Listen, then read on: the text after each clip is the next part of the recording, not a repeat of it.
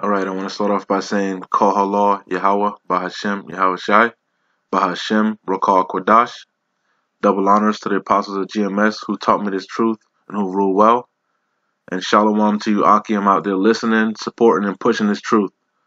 And uh, I'm going to title this video, um, Not in My Lifetime.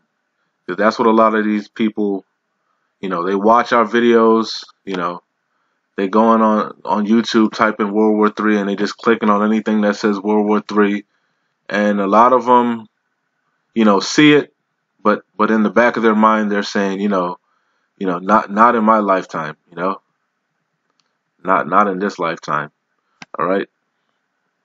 But anyway, you know, everything we're saying from Apostle Tahar on down, from the from the men of Great Millstone, is gonna come to pass, man. Whether you believe it or not, whether you want it to happen or not, World War III is imminent, man. Okay? All right, I'm going to jump straight into the scriptures. This is uh, Isaiah 30 and 10. Um, actually, let me let me go up a little above Salakia. Let's start at Isaiah 30 and 8. It says, Now go, write it before them in a table and note it in a book, that it may be for the time to come forever and forever. All right? And that's talking about these scriptures, you know? Now go write it before them in a table and note it in a book, that it may that it may that it may be for the time to come forever and forever. Okay, so these these scriptures, you know, like some people like to say, "Oh no, that's Bible times." No, Bible times is forever and ever, man. Long as you alive, long as the earth is here, it's Bible times, man. Um, Isaiah 30 and 9. That this is a rebellious people, talking about Israel, lying children, children that will not hear the law of the Lord, Yahweh Bashem Shai, which say to the seers, See not, and to the prophets, prophesy not. Salaki, let me read that over. Salaki, Isaiah 30 and 9 that this is a rebellious people, lying children, children that will not hear the law of the Lord, Yahweh Bashem Shai, which say to the seers, See not, and to the prophets, Prophesy not unto us right things, speak unto us smooth things, prophesy deceits. And that's what you guys want, and you guys don't want the truth. We're, we're, we're feeding you the truth. Every the truth is, is is smacking you in the face left and right, not only from the men of the Lord, but from you know Esau, the other nations, because the scripture said he would cause their tongues to fall upon themselves, right? So you got the truthers, you got all type of people exposing Esau, and and and and, and what time it is. But you guys don't don't want to see it. You see, you telling the, the, the, the seers to see not. We are the seers, starting with the with the apostles of GMS on down from Apostle Tahar on down, man. The elder Apostle Tahar on down. Those are the seers. We are the seers. We are the prophets, okay? And you're telling us not to prophesy. You don't want to hear this, man. You're just watching for entertainment. Okay? It says this is but this is the reason why, because you don't want the Lord, Yahweh Bashem Yahweh Shah. You don't want Yahweh Shah to return, who you guys call Jesus. You really don't in the back of your mind, you really don't want the you you know it's a black man so-called black man, you know he's about to put y'all to death. That's you really don't want. You don't want him to return. That's this is fact. Call it what it is. Okay. So I'm gonna say it again. I'm gonna start over. Isaiah 30 and 9. That this is a rebellious people, lying show. Cause you lying to yourselves. You're deceiving yourselves, man. Cause we we at them times, man. The Lord is about to return. Lying children, children that will not hear the law of the Lord, which say to the seers, See not, and to the prophets, prophesy not unto us right things. So don't tell us the truth. Speak unto us smooth things. Prophesy deceits. Get you get you out of the way. Turn aside of the path. Cause the Holy One in Israel to cease from before us. Because you don't want him to come down, man. But guess what? Guess what the Lord said? This is what Yahweh said, so-called Jesus, out of his own mouth, right? You don't want him to rule? Guess what? Luke 19 and 27. But those mine enemies, that's you guys that don't want to that want us to prophesy smooth things, that don't want this thing to come to pass. It's gonna come to pass whether you like it or not. It says, but those mine enemies, because you guys are enemies of Yahweh Yahweh Shai. antichrists. There are many antichrists, starting with you guys. But those mine enemies, which I would not that I should reign over them, because you don't want them to rule. You don't want them. You don't want these laws. You you don't want uh you don't want them to, to, to put faggots to death. You don't want certain things like that. You know. You want to eat your swine, eat your bacon. You know. You you want to stay in this hell. You want to stay in this shithole. You want to cash out on your 401k. You want to retire. You want to uh, go to the Poconos, go to the Maldives, wherever. You don't want this place to be destroyed. But Luke 19 and 27. But those mine enemies, which I would not that I should reign over them, bring hither and slay them before me. And that's what he's going to do. We're going to, the Lord willing, we part of the elect. We're going to round y'all up, who's ever left, and we're gonna put y'all to death because you didn't want them to return. You don't want to. You don't want to wake up to the times that we're living in. You want to stay in Egypt. Okay. Okay. And th this the only reason why he's coming back. Cause like I said, it ain't for y'all. Cause y'all don't believe. Y'all y'all don't have faith. Y'all don't want him to rule. Okay. This the only reason why the Lord is even coming back in the first damn place. Matthew 24 and 21.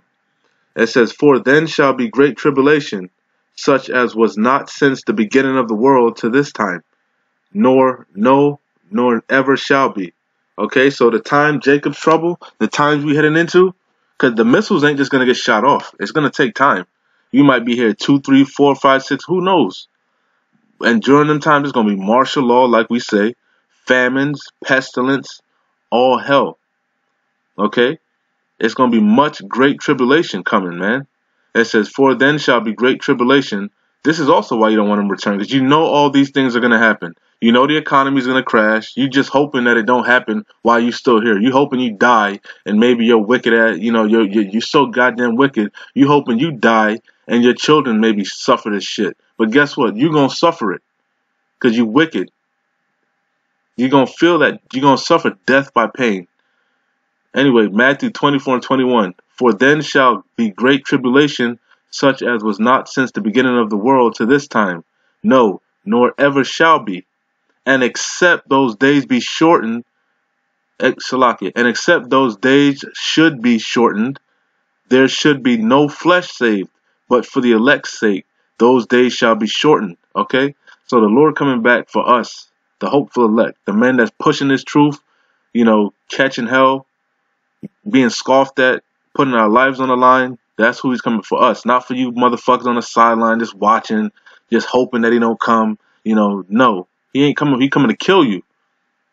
He's coming to put y'all to death. And in case you didn't, in case you couldn't understand, I'm gonna pull it, get it in Mark. This is Mark 13 and 9, because in case you got you you you got you guys are hard headed, right? This is Mark 13 and 9, the same scripture, but in a different book. For in those days shall be affliction, what tribulation, same thing, such as was not from the time from Salakia, such as was not from the beginning of the creation, which Yahweh created unto this time, in case you didn't get it the first goddamn time, neither shall be.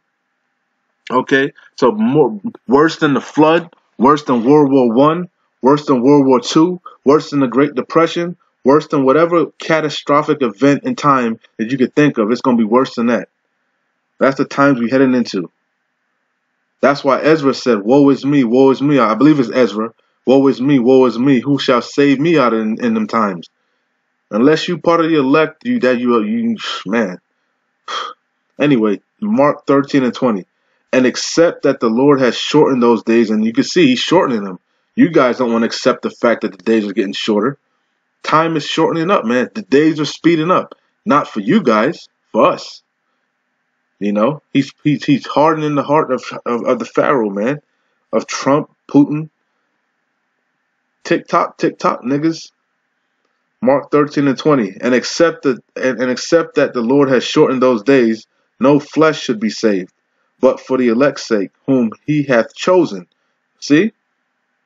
And that's that's lowercase L, so that's Yahweh speaking. I mean, we know Yahweh speaking, but anyway, this is talking about Yahweh And except that the Lord, that's Yahweh not Yahweh, lowercase l. And except that the Lord, Yahweh, Yahweh Shai, had shortened those days, no flesh should be saved. But for the elect's sake whom he hath chosen, he has shortened the days, okay? because he said he chose us from the foundations of the earth before everything was found. You know, it's, everything is predestined. I ain't gonna get into that. that that's a whole nother lesson. But anyway, I'm gonna close it out on Daniel. I wanted to read Daniel. I'm gonna start at uh, this is Daniel chapter 12, verse 1.